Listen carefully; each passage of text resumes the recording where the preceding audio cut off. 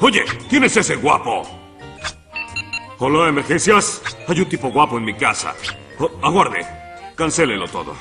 Solo soy yo. ¡Oh, me vuelves loco!